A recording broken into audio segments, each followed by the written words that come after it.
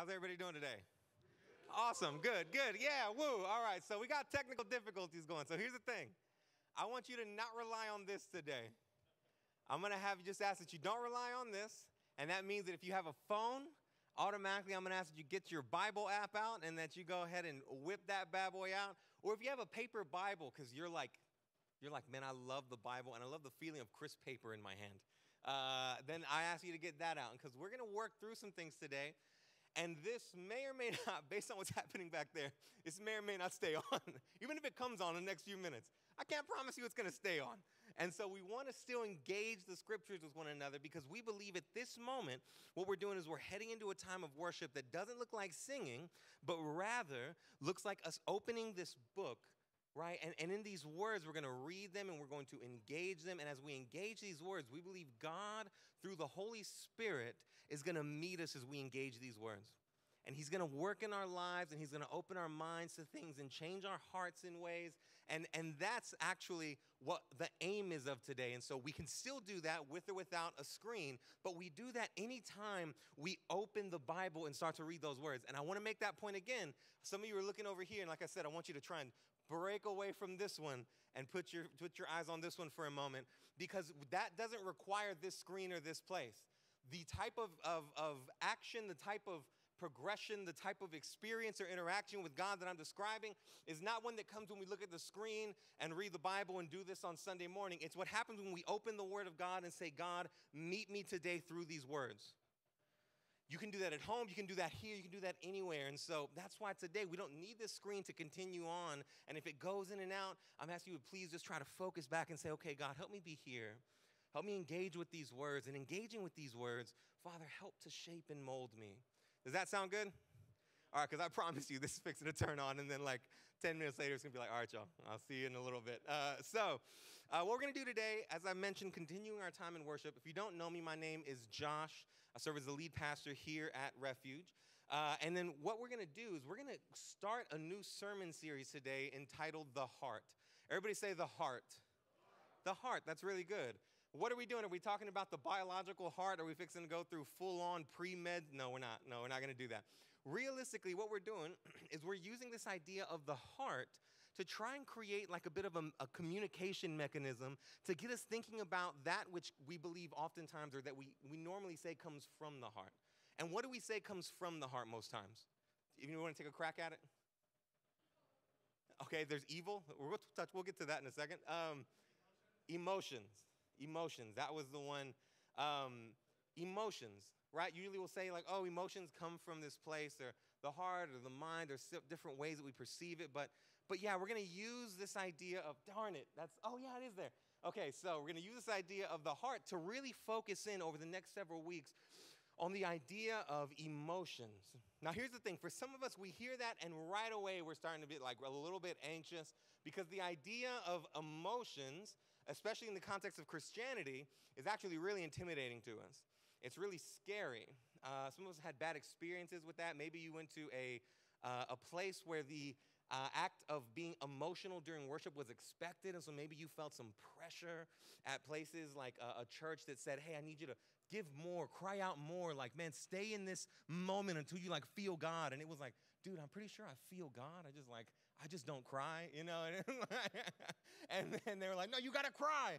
And so, like, some of us have that intimidation. And then, and then on top of that, right, some of us have taken uh, spaces like, man, Jeremiah uh, 17 9 that says, The heart is deceitful above all things. Who can understand it? And we take that and we go, man, the, the, the heart maybe is, and emotions are kind of like have a enemy or antagonistic type of position in my life, right? They lead me this way, they lead me that way, when ultimately I'm trying to follow the truth. And so it's not the heart that's a good guy, it's the, the, the, thought, the mind that's a good guy. The truth will be the thing that guides me. And so that's some of us. And if that's you, fair enough, right? But on the other side, there's also another group of us that sees or, or, or perceives the idea of emotions, and we're like, yeah, now we're talking, right? Because we see emotions as like a compass for us right? We live by the gut. And so you start thinking to yourself, like, man, what I feel, that's how God is like showing me different things. And, and He's like really kind of ushering me through my life, through these sensations and through these things that I'm feeling. And, and sometimes I call it intuition. And so for you,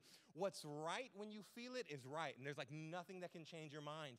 But then when, when you feel something is wrong, right, likewise, you're like, no, that's absolutely wrong. Why? Because I'm feeling that thing of like, man, that's wrong, that's right. And so we see, right, on that side, that the emotions are kind of like a compass for us. The reality is, most often, that emotions are probably somewhere in the middle of that. Emotions, more realistically, are somewhere in the middle of that. Uh, and when we kind of put them in this really, really kind of uh, wide spectrum and say emotions are either like really, really bad or they're like the ultimate good, right? Usually it's because we just need to take a little more time to try and figure out what emotions are, where they come from, how God wants to use them. We want to really, more than, than kind of pit them against one another, put them on a side of good versus bad. What we want to do is we want to try and figure out what does God want to do in our emotional lives? Right? That, that's more realistically what's happening here. And, and here's the thing this is important because the idea of understanding our emotional lives is critical because none of us are going to avoid emotions. I don't care who you are in here, none of us are going to avoid emotions. Maybe you're a little more given to emotions than someone else. And when I say that, I mean maybe you're a little more given to strong emotions than someone else. If I, I, I mean, anybody in here knows that that's true of me, right? Like uh, my dad watching me watch the Arsenal soccer team game yesterday can tell you that I was, uh, I was very intensely involved and I had a lot of strong and high emotion. All right, uh, Josh was texting me during the, Arsenal, during the Austin FC game on Friday night. He had a lot of emotion, a lot of capital letters in those text messages, right? Uh, and so maybe you're given to that, and maybe you're like, no, no, no, no, I'm not the exclamation point person, right? I'm, I'm a consistent period.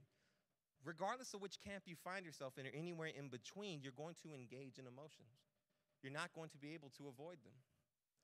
You're going to be in that moment where you open your social media feed and you see that picture of a group of friends and maybe you weren't invited or maybe you feel like you're missing out and you feel that, that bit of jealousy pop up inside of you right? You're gonna be in those moments where you're feeling very stressed out at work, at home, in certain relationships, and you start to respond in anger and frustration.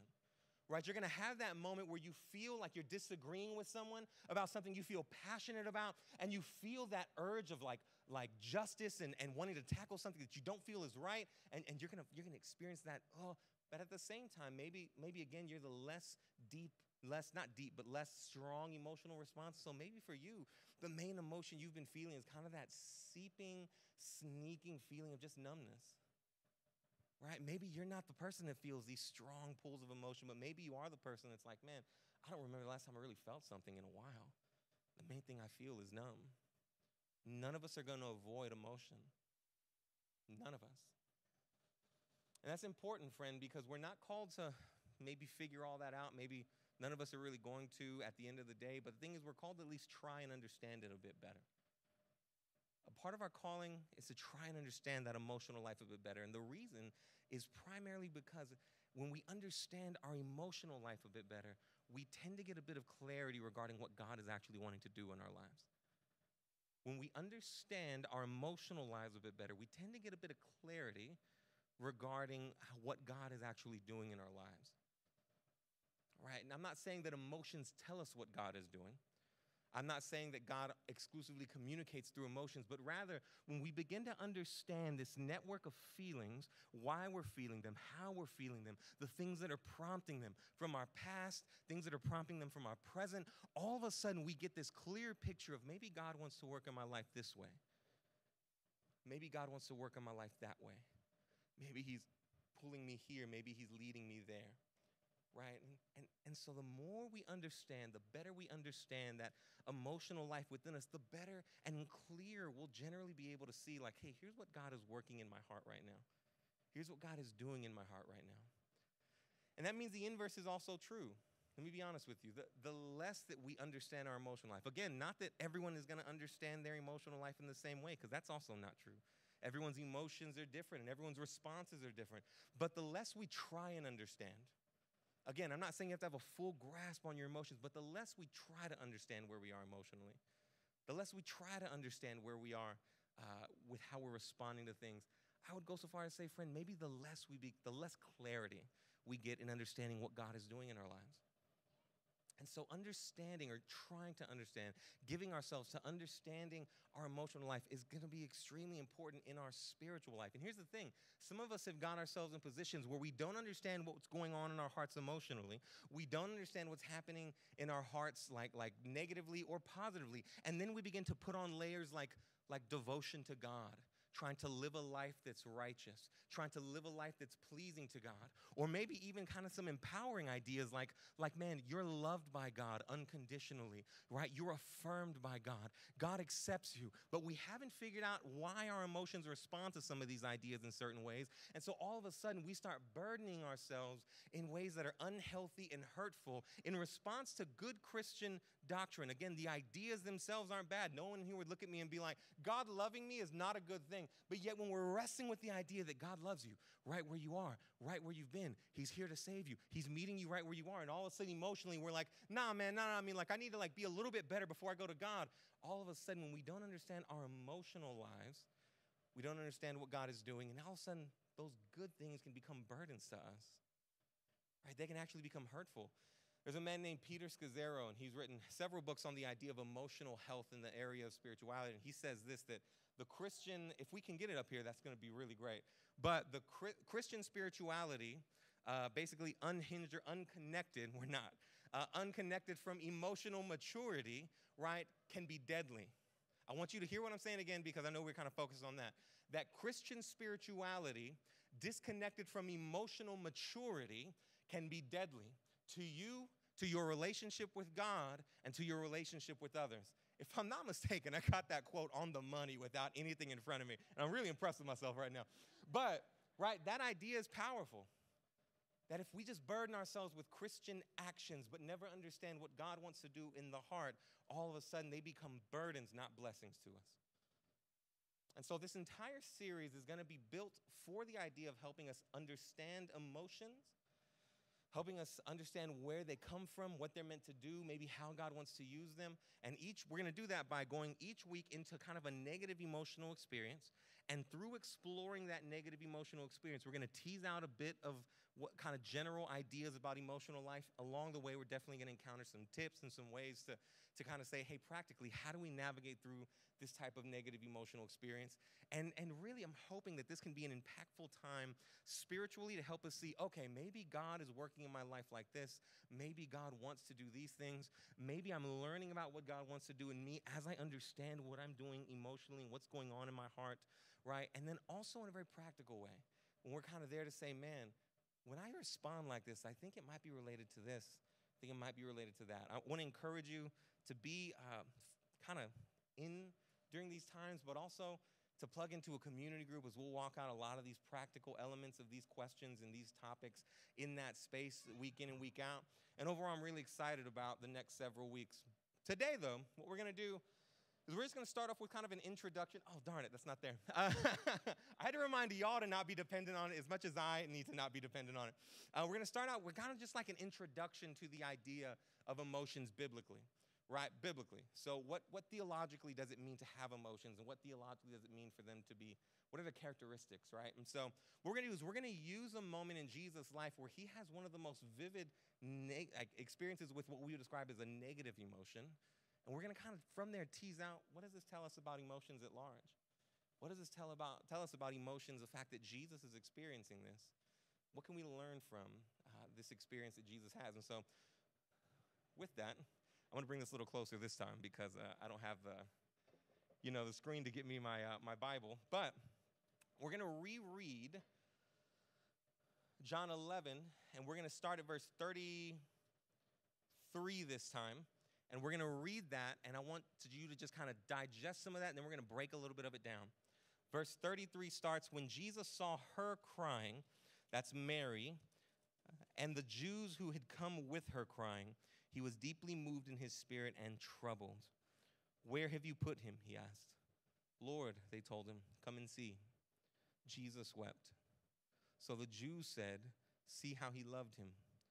But some of them said, couldn't he who opened the blind man's eyes also have kept this man from dying? For those of you that don't know where this story is taking place, we're taking a little, uh, a, little snippet of a story. We're, we're kind of zoning in on it, but it takes place within the context of a bigger story, and that is the story of Lazarus. Lazarus was a friend of Jesus's, uh, and, and he gets word from a friend, all right, from a messenger, uh, that, hey, G, uh, Lazarus is dying, right? He's dying, he's sick, it's pretty serious, and they say, Jesus, can you come? And while we don't have time to get into it today, Jesus waits a couple of days and they're like, Shouldn't we leave? The disciples like, Shouldn't we head out? And Jesus is like, Ah, he's to be all right. Uh, and then he, he packs up and he heads over and he finds Lazarus uh, and his family, Mary and Martha. And, and when he gets there, uh, they see Jesus coming and they run back to the house and say, He's here. And at that instant, Mary runs out and she greets Jesus. And when she greets him, uh, that's where we pick up our story, where she looks at him and says, He's, he's gone. He's hurting. Uh, now he's hurting, but he's, he's dead. We called you several days ago, and you weren't here. And that's tough. I, we'll, we'll, there's a sermon from like an Easter ago where I, I pick up on this a little bit, but I mean, you got to remember they sent a messenger right where Jesus was. So they knew exactly where he was. They knew how many days it would take him to get there. And they looked at him and was like, He's gone. I know you could have been here three days earlier. It's tough. And Jesus responds in our story Show me where you've laid him. And they take him over, and Jesus sees all the people crying. He sees his friend Mary crying. And the scriptures say he was moved in the spirit and troubled, and he wept and he cried. Let me level with you, as maybe you're like me. This isn't necessarily how I picture Jesus. I'm a very aggressive man. I'm going to be frank about that. I'm a very aggressive individual. I don't know why people had to laugh at that. it makes me feel like maybe I'm a little too aggressive sometimes, but I'm a very aggressive man. And so oftentimes the Jesus that I picture is this very aggressive, like, like overcoming king.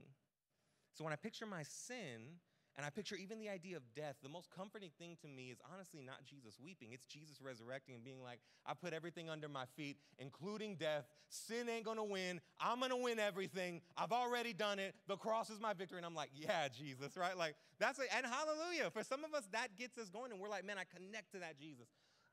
That's the way I like to picture Jesus. One of the ways I struggle to picture Jesus is him at the tomb of his friend just crying.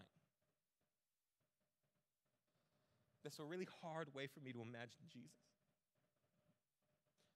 That the victor and the creator of everything, the one who would overcome death and overcome sin, is amongst his friends at the foot of the tomb where his good friend now lies lifeless. And instead of just being like, it's all gonna be good, don't worry about that. Your boy's here. I am the resurrection. You don't gotta worry about it. He just sits there and he just cries. And it says, I was, he was moved in his spirit and he was troubled. You know what that means in Greek is that he was moved in his spirit and he was troubled. It's not like some weird phrasing, it's just that he was sad. He was hurt. And here's the thing, friend this is a little bit weird, but I think it's exactly in this moment that we get to tease out a little bit about kind of like what this can tell us about emotions. Right? When we see Jesus in this deep experience with a negative emotion, this is where we get to start to tease out what is this what is this telling us about our own emotions, our own experiences with emotions? The first thing that I would say, friend, is that it tells us that emotions are from God. Emotions are from God. Hear what I'm saying? I'm not saying that every emotion is from God. I'm not saying that every single emotion you feel is from God and therefore it is the voice of God telling you where you should go or what you should do. But rather, what I am saying is that the act of feeling is from God, right? He feels, therefore we feel. The act of feeling is something that gives us or empowers us, I should say, to live out what it means to, to be made in His image and to display His character and to display His love because the same way He feels about something, we feel in that same way. Again, not that all of our feelings are exactly what God feels, not that all of our feelings are God saying, hey, this is like uh, your feeling, I'm guiding you with this feeling. But the act of feeling, having a network of emotions, feeling different ways to different things, right? The actual act of emoting, having a feeling, that's from God, right? God has given that to us because He Himself actually does that. And friend, this is this is critical. I think this is this is really important because if if I'm being honest with you, right, for some of us, um, this idea of, of emotions, again, as I mentioned earlier, can be really scary. It can be really challenging. It's this idea that when we feel something, sometimes we get scared of an emotion, sometimes we get scared of feeling a certain way, and so we run the other direction. We kind of resist the idea of feeling at all. We try to cover ourselves and protect ourselves from feelings, and all of a sudden, when we're put into this type of context, we start to realize that maybe the feelings themselves aren't the issue. Maybe feelings aren't a bad thing. Maybe, all of a sudden, when we look and see that God Himself in the flesh is crying at a tomb, that it's not the worst thing in the world to cry. Hear me, friends. Some of us in here probably need to be reminded that your feelings of sorrow are not always going to be a bad thing. Your feelings of mourning are not always going to be a bad thing. Your feelings of anger are not always going to be a bad thing. And those of you that feel alone in your feelings, remember and be reminded that the King of the world and the creator of all things sat at his friend's tomb and wept. He knows exactly where you are, he knows exactly how you're feeling. He knows what it felt like to look at his mom and be worried at his crucifixion and to try and pair his mom up with his boy and say, Can y'all take care of each other? Right? He understands what it means to be human and to be God, and, and he recognizes what you're going through. Friend, emotions are from God. The act of, of being emotional is from God, it's a, it's a gift. The second thing that, that we get to take from this text, friend, is that Jesus is our perfect example of emotions. Jesus is our perfect example, right? Like when we look at Jesus in this moment, sometimes maybe it's hard for you to, to imagine, like it is me, that Jesus just sitting there crying, that he's just sitting there weeping. But friends, here's the thing. What does love do when he when he sees a group full of people hurting and sad and mourning someone that they've lost? Love weeps. Love weeps. Right? Love sees the reality of someone's heart and begins to weep with them. He sees the pain, he sees the sorrow, and he engages by saying, Man, I'll weep with you. Why? Because what was value to you, valuable to you is now gone. What was, what was valuable to you as a brother, what was valuable to you as a relationship, what was valuable to you as that person you say good morning to, what was valuable to you as that person you crack a joke with, and all the little inside jokes that compound over the course of a lifetime are now in a tomb laying lifeless. And you're mourning and you're sad, and love doesn't respond by saying, like, man, why are you even worried about that? Like, I'm here. Love responds by weeping. Jesus is the perfect example of what it looks like to have our emotion right? To understand what our emotions are doing, to understand how they actually are working, and then to respond to them well. And here's the thing some of us are like, man, but Jesus was God, but Jesus was also human. Right? The beautiful idea in the Bible is that while Jesus is 100% God, he's also 100% man, meaning he's 100% God, but he's also 100% human. And so all of the things you go through, he's gone through, he just knows how to navigate them perfectly. He just navigates them perfectly he navigates them with humility and dependence and understanding where his heart is and what his heart's doing. And so he recognizes maybe right there is going to be a resurrection here. In fact, in about five minutes, I'm fixing to bring this man back to life because I'm Jesus. But then he also recognizes the sorrow and mourning that's present, right, is not meant to be shamed, it's meant to pronounce the value of this man. And my weeping will likewise pronounce the value of this friend because he was my friend too. And so Jesus weeps along with those that are weeping. What a beautiful example of what it means to understand emotion, even when you are above and above and more powerful than the thing that's providing or evoking the emotion, and then to do it well, right? To navigate through it perfectly. Friend, these two points that we're starting with, I think they're kind of the backbone of what we need to understand because really what we're laying out now is that emotions, the act of feeling, right, is from God, and Jesus perfectly displays what it means to emote and to have feelings and to work through them perfectly and in a beautiful way.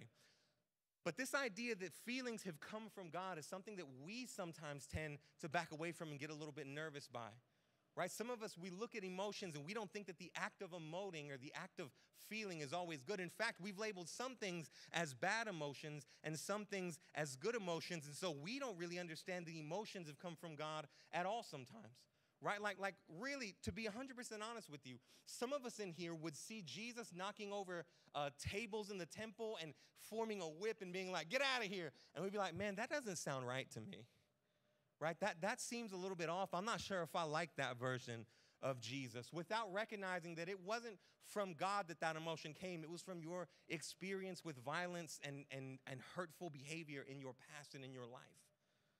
And so you're bringing that into the moment, looking and saying, man, that type of action rubs me the wrong way. And therefore, that type of feeling is a feeling that I deem as bad. But then some of us are on the other side, right? We see Jesus in there doing that. We're like, yeah, like I said, I'm an aggressive guy, and I ain't gonna lie. Sometimes I'm reading the Bible and I see Jesus flipping tables and calling Pharisees broods of vipers, and I'm like, man, I'm in love with this guy, dude. I'm a big fan. But that's maybe that's because I grew up in an aggressive environment. And maybe my aggressive environment shaped me to think, okay, this is how you, this is how you get by. This is how you survive. See, what we don't realize is in that moment as we approach something like aggressive behavior, we're not bringing everything that we're not bringing the emotions as, as gifts from God, but we don't even realize we're bringing all the experiences, all the things that have actually like like like we that have shaped us and that have formed us and that now we we stand in a moment and we're sitting there going okay how am i feeling? What am i doing? And we don't understand it. We're not understanding that man the act of feeling is a gift from god or maybe we're under, kind of under the influence of thinking every one of my feelings is from God. And instead of understanding the entire backdrop of, hey, this is all the things that have happened to me, here all the things that have shaped who I am, here's all of what goes into this moment and how I respond emotionally to this event. All the while, we've missed the point that, man, Jesus, God has given us the act of feeling because it comes from Him. We don't always, we don't always get that right? We don't always, we don't always, we miss the mark with that sometimes. But also, we have the opportunity to look at someone like Jesus and say, hey, this is the perfect example of what emotion should look like. And, and here's the deal with that, right? I'm, I'm laboring on this point a little bit because it's in the midst of this that God still wants to work. When I said God works through our emotional environment, maybe in the midst of both those feelings, when they're looking at the aggressive behavior, God wants to step in and say, I want to affirm that gentleness is valuable, but I also want to affirm that discipline is powerful in a person's life as well. And maybe the person that struggles with aggressive behavior needs to be affirmed, hey, there's such thing as godly anger. But maybe the person that is a little bit too comfortable with aggressive behavior needs to be affirmed, hey, the actual feeling of gentleness and being gentle in the midst of something is beautiful for for the person receiving your correction, receiving your love. And in the midst of it, when we don't recognize that these things are from God and that Jesus can perfectly navigate them, we fail to realize that it's in that spiritual space that God actually begins to show us who He is. He begins to show us, you know what, there's such a thing as godly anger that leads to righteousness. There's such a thing as gentleness, like weeping alongside of your friends, despite knowing I can handle this right? There, there's an emotional reality that comes from the goodness of God that, that is His character, that is His promise, that shows who He is, that we get to tap into and say, God, I don't know every, t- every minute of every day what's happening in my heart, but I know what's happening in me is a result of who you are. And so I want to look more like you, so God, help shape me from the inside out help shape what I'm, what I'm feeling, what I'm seeing, what I'm understanding inside, and use that in order to really kind of direct my life and show me what you want to want to show me and guide me how you want to guide me. And so emotions, right? These emotions that we're encountering, that you're encountering today, and they they're, they come from God, right? The act, all this big network of feelings you have, they come from God. And ultimately, we find the perfect example of them in the person of Jesus, just living his life, just being himself. Why? Because again, none of us are going to avoid emotion. It's going to be a part of every single one of our lives every single day. And we get to look at Jesus and go, here's what you're doing here. Here's the last thing I want to point out about emotion from this text it's that emotion, uh, emotions are connected to love. Emotions are connected to love take a minute to consider, I think it's verse 34 here. Um, and it says this. Oh, yes, nice. Um, so the Jews said, See how he loved him. I want you to think about what's happening here. Jesus is at a tomb. He's weeping, he's sorrowful. And the people around Mary looked and said, See how he loved him. Now, right after this, there was also a group of people that are like, Man, had he been here, couldn't you just raise him? We're not worried about that group. We're worried about this group the group that saw the sorrow of Jesus and connected it back to man he loved he loved Lazarus deeply. Here's the thing friend, your emotions one of the most powerful things we're going to pick up through the course of this series is that your emotions are connected to what you love. Your emotions are connected to what you love. Jesus loved Lazarus. He loves Martha and Mary.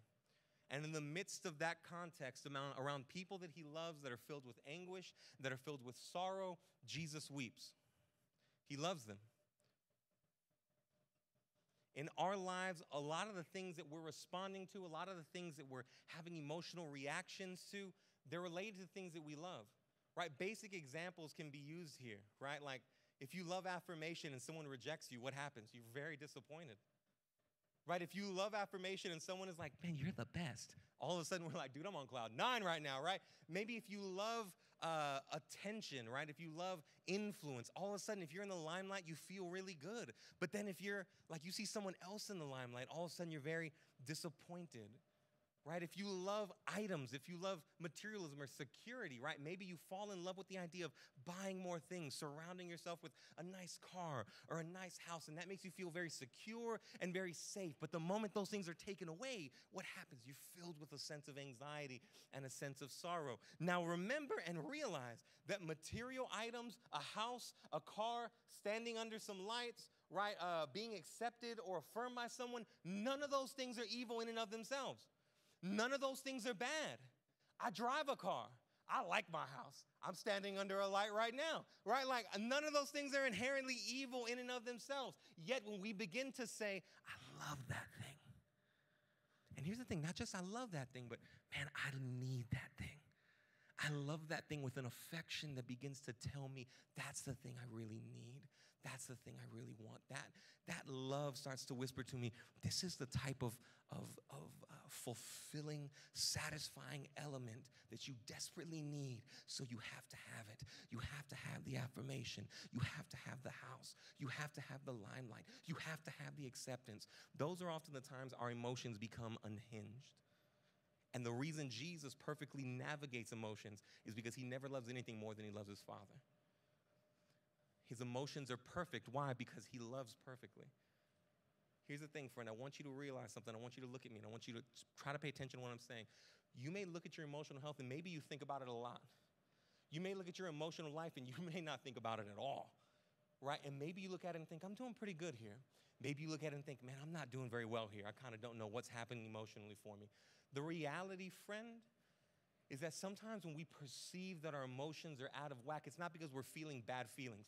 The feeling of sorrow is not a bad feeling. Jesus loves the people that he's with. He's sorrowful because they're dead. He's sorrowful because they're hurting, and he experiences something that communicates the depths of his love for his friend. That's not evil.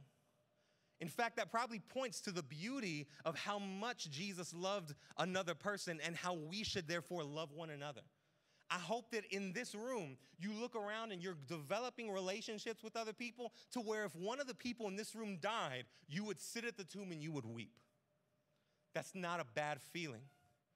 In fact, it's, it's a beautiful feeling. It's a beautiful scene to see the creator of everything just say, Man, I'm, I'm willing to weep with you.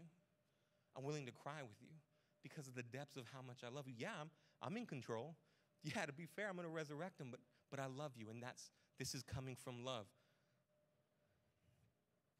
emotional, our emotional lives, sometimes when we perceive them as unhealthy, it's not because we're experiencing negative emotions. Friends, it might be because what we love is a little bit off.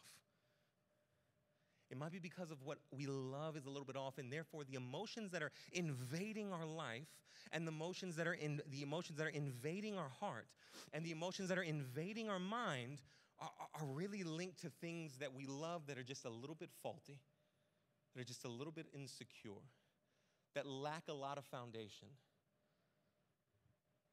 Right? When your heart begins to unhinge itself from the proper place that it should have in loving God and in being loved by Him, and you're, you're, you're stepping away from saying what my heart needs, I want to find in you, and you're putting yourself in this place where you're saying, you know what, I really love all these other things, and now I'm going to venture out into the world, and I'm, and I'm going to venture out into different social scenarios. I'm going to venture out into different business ventures. I'm going to venture out into different spaces where I can achieve different things in school or in business or anywhere else. And we start to, to develop this affection and this love for these things. The moment they're gone, the moment they're even in danger.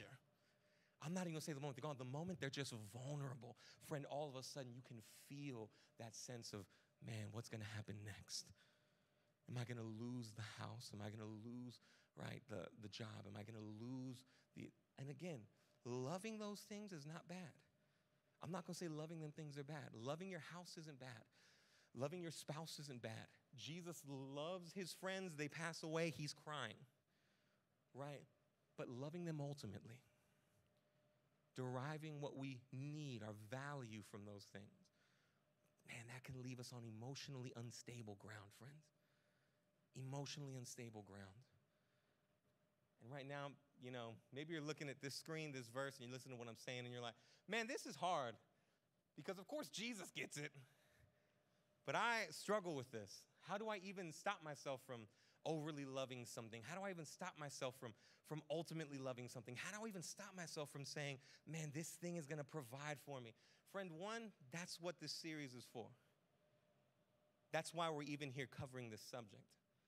Because unless we have the space to actually think about what our heart is doing and think about where our emotions are and think about what we're finding satisfaction and think about what we're finding fulfillment in and think about where we are and think about how we're trying to achieve and gain and, and satisfy ourselves where we are, we'll never understand how the gospel wants to step in and say, Man, I, I already did that for you. Which is exactly why at the very beginning we said, Man, when you understand what's happening in here, you begin to understand what God wants to do in your life, in your heart, in your mind. It takes stepping in and saying, What are my emotions doing? What do I love? How am I responding to what I love? How am I responding to the things that I hope bring me life and bring me security and bring me affirmation? How am I responding to that? That's why we're here. That's why we're doing this for the next several weeks. And hear me, friend, the beauty of talking about emotions talking about the heart in the context of the gospel is that we have a very short trip from what we long to to what's offered to us. Going to say it again. We have a very short trip from what our heart longs for to what's being offered to us. Because maybe in here you're saying, man, I want security. And then Jesus steps in and says, man, I've, I've actually secured glory for you. And then we go, man, no, no, no, but I, I really want like people to affirm me. And then Jesus steps in and says, man, I, I actually lived the life pleasing to the Father, right? So that you could be affirmed by him. Man, but I, you don't understand. Like, I really, I'm really longing for a sense of like influence. You have the ability to step into a story of God shaping and molding the world where you carry the most powerful message of the most important human being in the history of everything in order to take into a community and to take into a, a town and to take into a city and begin to preach it and begin to share it and begin to invite people in and to see communities be shaped not by your message but rather by your efforts and reliance on this beautiful message and what Jesus has done, man, everything that you long for has been captured in this person of Jesus. Why? Because he entered into our story. He entered into the emotional element of our story. When he goes to the cross, he doesn't go just to forgive your sins, friend. Yes, it's not less than that, but it's so much more than that as well. He earns the acceptance of God the Father so you could walk in the freshness and, and, and in the life of saying, I'm accepted by my God. He, he earns, uh, all of a sudden, he, he earns what it means to be secure as he, as he earns what it means to, to honor and love God and to please God, yet goes to the cross and surrenders that. The story of the gospel is a story of God knowing your heart better than you know your heart so that he could take and achieve what your heart desperately needs, go to the cross and say, now it's going to be yours. The invitation is not for you to go earn it anymore. The invitation is for you to come to me to receive it. And from there, we're going to begin to work out what it looks like for you to find what you need in me. And as you find what you need in me, I'm going to keep bringing you new life. And ultimately, when I return, it will all be made right, and you will be fresh, and you will be new, and you'll be satisfied, and everything will be finished. But keep working out what it means and what it looks like to find that life in me. Keep working out what it looks like to find to find that satisfaction in me. Keep working out what it looks like to find those needs in me. When you come to love something, I want to teach you how to properly love it the way Jesus loved it. Again, loving your house and loving your, your school and loving your achievements and loving those things are not bad. I love, I love getting on things three on my telephone. I don't know why I said telephone like I'm, you know, like this is the 70s, but on my cell phone opening that app and just like working through a checklist of things, it gets me lit. I'm like, oh man, I killed it today. The tension there is not enjoying checking off a list and, and feeling excitement from it. The tension there is not checking off everything from the list and feeling like I'm, I'm somehow missing something. And my security can only be found at the end of the, the things three checklist, right? That's, that's the tension. Friends, as we enter into the, the rest of this series, I'm, I'm hopeful and I'm, I'm prayerful that as we work through these emotions, as we work through these things, as we work through what it means to, to love well, what it, as we work through what it means to love like Jesus. Because again, the, the point of the emotions is probably the same point of the scriptures. Right? The point of the scriptures is not to, to teach you a message that changes your mind about Jesus. That's not the point of the Bible. The point of the gospel is not to change your mind so that you think Jesus is good and I think that he's God. The point of, of, of Jesus himself is not to come in and say, hey, I want to prove to you the thing. The point of the gospel, the point of the scriptures, the point of Jesus' message and Jesus' own life is not to change your mind. The point of that message is to change your heart by changing what you love. It's why John says, Man, I loved you because you first loved me. The point of our emotions ultimately is not just to show us what we love on earth, but to point us to the depths of the, of the love of the one who created us and who's shaping us and who's leading us and who made us and who wants to guide us, right? That's the ultimate point of our emotions. As we begin to work our emotions and understand how is it that you want to shape me and form me through my emotions, it most ultimately is going to end up at the place where you say, God, how do you want to point me to the depths of your own love in the things that I love? Friends, if we can get there through the course of the next several weeks, I'm telling you that it's going to be a powerful time where I'm praying the depths of your love for God is bolstered, but likewise, that, that, that your understanding and knowledge of God's love for you is deepened. And the result of that is often powerful life change and f- being filled with faith. But friends, it's going to take di- it's going to take diving into the idea of where are my emotions at and what are you trying to do in them. But friends, if we can get there, if you can go there with us, I'm praying and I'm hopeful this will be a powerful time for you and a powerful time for me. Sound good? Let's, let's pray. Father, thank you so much for this time today. Thank you, Father, um, that we recognize and humbly come before you, understanding that you are the creator of emotions, that you are the creator of our hearts. You know what we long for, you know what we want. Yet we recognize also, Father, that in our hands, emotions can be expressed wrongly. We can love inaccurately. We can love things that are lesser than the things you've called us to love. We can oftentimes love things that um, in, in a way that puts far too much value on them and not enough value on you. Yet, Father, you invite us not to look at our heart and say, You are the ultimate gauge and the ultimate judge on whether I'm accepted and loved, but rather, you allow us and invite us to look at the person of Jesus, the perfect example of how emotions work and what emotions should look like in the hands of a godly person, and to find rest saying that Jesus has taken the mistakes that I've made emotionally to the cross so that in him I can find the emotional needs and values and, and, and things that I'm longing for and slowly begin to work those out. It won't be easy. And we confess today that it won't be. Yet our, our invitation is not to ease, but our invitation is to find a rest and comfort and peace in you as we embark on that journey together. And so, Father, over the next several weeks, help us to understand our hearts better. And ultimately, through that, Father, help us to understand your heart better.